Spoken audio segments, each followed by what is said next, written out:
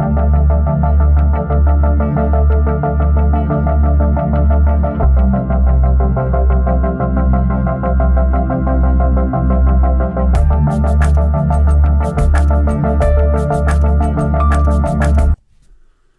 is up YouTube? Bobbles and Ballcards back with another video. It's Tuesday, December 6th. Just a quick reminder if you wanted to join the SGC submission for December, uh, please make sure to get your cards in the mail or let us know if you're local and uh, you wanted to meet up or what have you uh, to get in the submission. The deadline is by the end of the week and we'll be, we will be shipping it out beginning of next week. So uh, I'll be doing the preview and everything this weekend. Uh, but anyway, throwing that out there just as a reminder to everybody. Um, got a fun topic today. You've seen the thumbnail. Uh, just gonna run through some thoughts uh, about junk wax, that time frame, that era. Um, I'm not gonna, you know, if you're here, I, I know a lot of people have been enjoying the the dramatic content. I'm not here to do content to piss on anybody else's yard or uh, get into the discussions of what other folks are doing or whatever. Um, I, I I've been having a lot of fun in this hobby, whether the prices are down or people are down in, in their moods or their thought process or whatever. Um, I'm sticking to my thing and uh, having a hell of a lot of fun. So I hope you are as well. And so if that's your kind of thing, if you want to, you know, stick around and listen to my thoughts on the junk wax era and that time frame, great. If not, no worries. Uh, but anyway, all of you that are new subscribers and the folks that like and comment and all that stuff, I really do enjoy it. There was a request um, about possibly starting to go live again. Uh, I might try to work something out with that. I just want to make sure it's a day that I can stick to uh, being solid on, you know, being consistent, being able to go live every week or what have you, or a time or something like that. So keep on the look for that if you like to enjoy the conversations and everything as well. But anyway, let's get to it. Uh, we got the advent calendar that we've been doing every day. Uh, we're on day number six, which actually kind of fits in the frame now, thankfully. So y'all can see when I pull this little thing and they kind of get pushed back in there. You push whatever is in there back into the uh, slot, but looks like we have another pack today. Uh, see if I can get it out of there. Kind of cool how they did this, but it's also kind of tough to get some of the stuff out. So it's a Fusion Strike Fun Pack. So let's see what that is. I've never heard of a Fusion Strike fun pack before, so um, let's dive in and see what it entails. Of course, I uh, cut my nails and the pack wants to be slick, so alright, got it open. So here is a Sword and Shield Fusion Strike Fun Pack. There's a little I guess this is for the uh, game, the digital game. Then there's Fusion Strike on the back there. All right, let's see what we got. We have a Totodile, a Phantump, and a Ninetales Reverse Holo. So, so far in our packs, we haven't really had what you would consider a hit. I mean, there's been some holos or whatever, uh, but not too much in the way of hits. But it's still fun cool thing to do every day. Share with you guys. Hope you enjoyed it. Um, all right, the topic of junk wax. Why would I make a thumbnail that says junk wax was actually great? Um, few different reasons. I'm going to go ahead and go over to this real quick. Uh, this is a video that baseball collector, investor, dealer Chris Sewell, uh, he posted this up. It says a year ago. I don't know if it'll give me an actual date. Let's see. September 18th, 2021 is when he posted this video up. It popped up in my recommended feed. We were downstairs uh, on the Mrs. account. It popped up in the recommended feed. It caught my eye, so I watched it. I put it back on again today and was browsing through it. And what he basically does in here is he starts, he combines 90 and 91 and then goes through each year individually, kind of showing some examples of cool insert sets from that year. He doesn't show all of them. Um, gives like what he feels was his favorite or most significant, and then he shows like the the highest sale, which obviously in 2021, um, you know, it, it's kind of to be ignored. Uh, but some of those inserts are still very very valuable. And what does this have to do with the junk wax era? Well, I really feel like that a combination of things between the junk wax era, the dot com internet phase coming into play, uh, eBay starting up, you know, several different factors started pushing the envelope towards manufacturers realizing you also had the youth that are like my age we started kind of fading out of interest of it as i said you know, my junior year of high school, I actually was more into Magic the Gathering than I was sports cards. So these manufacturers were kind of seeing the signs. The TCG stuff came out, you know, that that was all coming out. They kind of seen a shift in interest. Um, hobby shops started carrying TCG and stuff like that, and uh, you know, many times you could you probably to this day you could still ask a hobby shop owner what like what helps support their business the most and likely many times they would say TCG because it had such a big interest. You could you could play a game with the cards. You know, it appealed to children as well as adults with you know Pokemon and then Magic the Gathering and all of the sorts there. Yu-Gi-Oh kind of almost combined the two things. that had a little bit of uh, ch- uh, kid aspect, but also kind of an adult feel to it. Um, so there was many aspects there going on, and I think that that era just kind of pushed the manufacturers to give us some really awesome inserts. They started, you know, playing around with serial numbers. We started, you know, autographs were around 91, but they started getting even more advanced with that. We started, you know, it pushed them into getting uh, the relic cards and that sort of thing. The issue is today, I know people argue, well, we're not back in a junk era but it feels like it. We just had this rush, this boom, and they started printing things to high heaven. They came out with a set of a set of a set of a set. You know, they try to figure out new colors and different patterns and uh, different you know waves and the you know uh, marbles and lavas and all this other stuff and then you get into animal patterns and it's like it just feels like a very, very, very big lack of innovation, creativity. It's like, okay, you get the same picture. I mean, what is how many different prism parallels are there now? Pushing 50, right?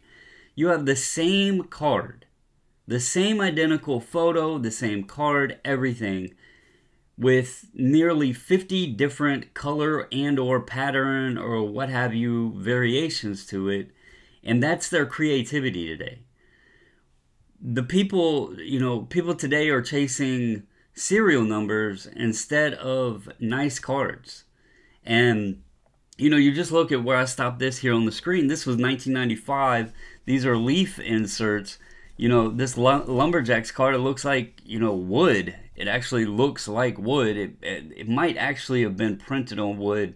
Uh, you can, I think it was, because you see here the way that Griffey looks on it. I believe that one was printed on wood. Um, they did a few sets. Uh, those firebrands that CBC or Bullpen just sent in and had the whole set done. Those were on wood by Topps. Um, the statistical standouts on the left that has like a feel of like a baseball to it. Um, this gold leaf stars here, you know, has the foil and everything, and then it had little laser die cut right here um, of the star was actually cut out the card. Uh, you get into this, I mean, let's go to where he has some others. I mean, you look at this here, hot shots with all that die cut. You know, uh, the atomic refractors back in the day, they were just so beautiful. The, re- the refractors themselves just popped differently. And you know, we had the die cuts, the net fusions, uh, all of the laser cuts, all of this creative stuff that forced the manufacturers to to innovate, to get creative. And I think really when it became well Topps' is baseball license, Upper Deck is hockey license, and Panini is basketball and football license, it became more about okay, let's just throw some colors on it. We know they like to shine, we'll make them shiny, and they'll buy it. You know, they'll they'll chase the serial number. And there was no need for innovation, there was no need for creativity, and really the cards today, the prices of them are absurd and the cards are bland. I mean, we keep even Prism. They there's like hardly any difference from one set to the other. I'll give Topps a little credit. They try to change things up here or there. Some of their set designs are ugly, but at least they try to change them up. Um, but I think they're just like they take advantage of us and basically just don't care because they have, you know, they have a grasp on everything. Now, it's going to get worse because Fanatics is then going to own all of it, right? They're going to have the rights to all of it. So what creativity are they going to bring to the table?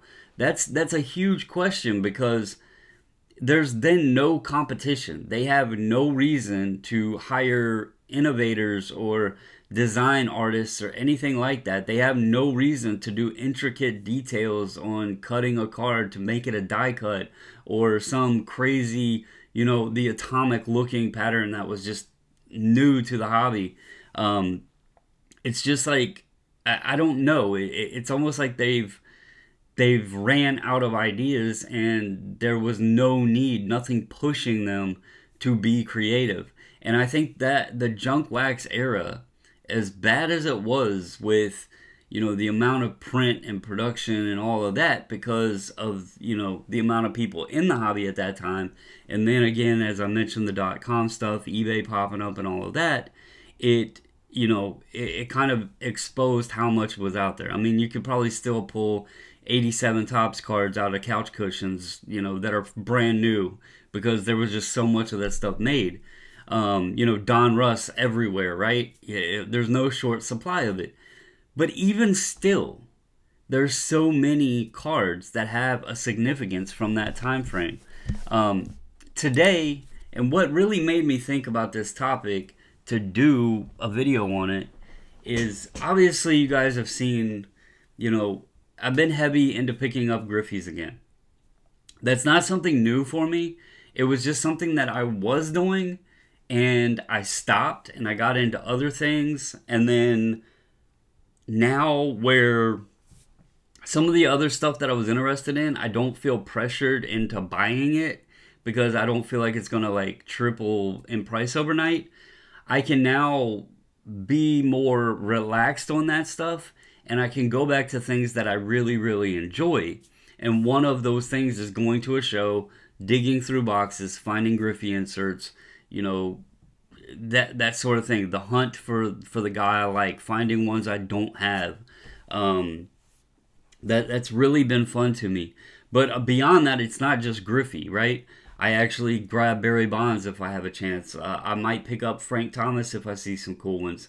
There's players all again from that era. And if you think about it why? Well for one yes that's the time frame that i remember most as a kid but the cards back then, I just think look way better than the cards today. You know, don't get me wrong. I love Juan Soto. Ronald Acuna is a hell of a player. Vlad Jr., uh, Shohei Ohtani. You have Julio now, Bobby Witt Jr., Torkelson. You know, you got all these young players in the league, and the card innovation is just blah. Like, there's nothing that really excites us. I've said my favorite refractor is the X-Fractor. Why? Well, mostly because it looks like kind of the old atomics. I mean, it's off, it's not the same, but it's similar to the old atomics. It's not just boring, right? It's not just to throw another color into the color wheel. So that that's kind of the thing what attracts me to collecting those guys from the 90s is not just cuz I watch them, it's just cuz the cards are cooler. And you know, it, it could be a big issue moving forward if they don't get creative. I mean, I'm even if they want to continue printing all of the different products, okay? Okay, fine. We had a ton of products back in the day, right? But there was something to actually get excited about. You know, PMGs became a thing. Why? Because it was a chase. It was a card that was very tough to hit. Jambalayas. Um, you know, I, I, showed y'all I picked up the new Metal Universe, uh, a cut above. That card is so. Metal Universe Champions ruined the Metal Universe inserts, in my opinion. Um, they're just they're such a lack of creativity. They're boring looking. You know, sure they don't have the licensing. That's that's a minor detail. The inserts themselves, they are nothing compared to the old Metal Universe inserts. It just shows that there was very little effort put into them. Not to mention, they weren't much of a chase. They're way too easy to hit now. Those cards were tough to hit back then. It meant something to hit one. It was very cool to hit it. The card looked awesome. And then, of course, we had our players that we loved and enjoyed. Um, now, to go further of why I wanted to talk about this, today I have really just been. I, I'm working on a project that I will share with you guys at some point, likely after the first of the year.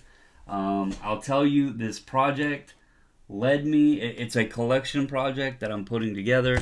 Um, I've been working on it, but I kind of shifted a little bit of gears into a different direction. Uh, but I've been digging through boxes today. I have, I, I don't know how many boxes similar to this here. Uh, this is just an example, but you can see here there's cards just randomly, you know, not even in a uh, top loader or anything. Here's a Chrome Refractor Jamal Lewis Volunteer Victors um, with him and Travis Henry. Um, but there's just like, th this has all kinds of stuff in it, like Dragon Ball Z cards. I have boxes upon boxes like this where there could be stuff just in it raw. There's a lot of top loaded stuff. You know, it. God knows what eras. You know, here's a finest uh, Eddie George, absolute Eddie George you know, Star Child. Another speaking of a good insert. You know, you had the star dates. There's the Star Child. Uh, look at this, uh, simple Topps, stat stars. You know, so I was digging through all of this stuff, looking. I'm actually hunting for three cards from the Junk Wax era that I know I have. Uh, I just don't. to be funny as hell, I have no clue where they are, um, and I know I have many of them, not just one. They're legit junk wax era cards uh, from 89, 90, and 91 to tell you uh, baseball. Uh, so I have tons of them. I just don't know where exactly I put them. So I've been hunting through boxes. And as I was pulling out all of these these you know cards from the mid to late 90s and early 2000s, it just kept like resonating more and more. Yeah, I loved Griffey growing up, but I loved the way the cards were back then. Even if it is a, you know, even if some of these cards are only worth a couple bucks today from the 90s, I mean, there's just stuff you cannot argue. Look, this is a racing card. Like, we're not getting stuff like this today. This is a Jeff Gordon, you know, obviously uh, like a chromium foil type card. Awesome die cuts there designs back there with the engine and everything. We just don't get this stuff. The cars today are just they're bland. Um, you know, the finest when when they brought all that out to give us the the chromium stuff and they had the protectors and everything on them, and then you got a refractor. If you dare pulled that off, holy cow, the way that it shined, it was just incredible. Then you had Flair. I mean, this is just a base card, and look how clean it looks. You know, you got the kind of the portrait image here, the action shot, and then that metallic looking background on it. I mean, Flair, and then they went with the the um the row three or row two, row one, row zero. Sorry, there was no row three. You know the the masterpieces, all of the, that stuff. It was just a different time, man. And I just don't know. Like, if we didn't have the junk wax era, would we have ever gotten the creativity that we got moving forward? You know, if if we didn't have it, would the '90s had progressed the way it did? And why can't we get that back? Like, why can't these companies with the technology? Let's be real, guys. That's the other. That's the other crapper to all this. Some of these cards I'm pulling out of the boxes, like like this Favre. Okay, this has been sitting in a box just like this, and looking at this card, it's in pretty damn nice shape. Not even in a sleeve, just in a cardboard box it's got a nice gloss finish to it. And look at it. Just in a box like this. No protection, no nothing. And it looks really freaking good. We can't even get cards out of a pack today that don't have scratches and shit centering way off. I mean, I get it, cards weren't perfect before, but look at that, man. They actually took pride in making cards back then. Today, they just don't care. And, you know, I, I don't want to sit here and give like a Rudy rant or anything like he does with Magic the Gathering, but it's getting hard to buy this shit. I mean, it just is. It, it's getting hard to spend your money when the, it's like, why should I care? I, I tell my son this sometimes about things in life, you know, and, and trying to motivate him. And you know, I'm kind of getting on the same route with with some of the card the newer card stuff. Like, why should I care if they don't care? Why should I buy it? There's enough out there that I can have fun, buy, and enjoy. I don't need the new stuff. And if they don't care, then why should I care? And it's a fair question. So, again, um, I don't know. Let me know your thoughts. You know, I, I get it the the value isn't there. You know, it was overprinted, overproduction, over uh, overproduction. I can't even talk. Um, you know, it was a wow factor when we seen how much of it was out there on eBay. I get all of that, but I really think it helped us and and created a lot of cool stuff, especially in the mid to late '90s. Um, I just don't know. They might have continued on the same old boring pattern if it was never deemed, found out, coined, phrased, uncovered of just how much was printed in the junk wax era. So that's my thoughts on it, guys. Um, you know, if you're ever down or, you know, the negativity, the dramas, all that stuff, and you just want to kind of get away from it, um, hopefully you have boxes like this. Just just go grab a random box of cards. Uh, I'm y'all are probably better organized than me. Uh, I have just again y'all seen what I pulled out of there. It's just random stuff. Um, but I have boxes upon boxes like that, and that's one of my favorite things to do. Is just sit down and grab a box. You never know what you're gonna find in it. I found a Draymond Green rookie, all kinds of stuff. Just going through boxes today. Griffey's that I didn't know I had. Um, a bunch of uh, old tobacco vintage cards were in one box. Um, right here.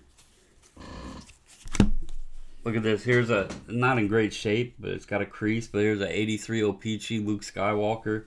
Bunch of old vintage. These are, you know, old cigarette cards and stuff, like uh, country flags and everything. Um, these are cigar cards or cigarette cards. Um, just in random boxes. I mean, hopefully, you know, hopefully y'all are a little bit better organized, but hopefully you have that that ability to just go grab a box off a shelf, sit down and look through it. You know, just enjoy the enjoy the cards and uh, enjoy the hobby. So it doesn't always have to be on eBay or COMC or whatever. Um, my slab, it doesn't have to be always looking to buy something. You can sit down and just go through and enjoy what you have. So, um, but anyway, that's all I got for you guys. Again, those of you that watch, thank you. Uh, give it a thumbs up, comment, let me know your thoughts. If you haven't subscribed and you enjoy it, give me a subscribe. And uh, as always, folks, stay safe, stay healthy, and until the next video, I'm out.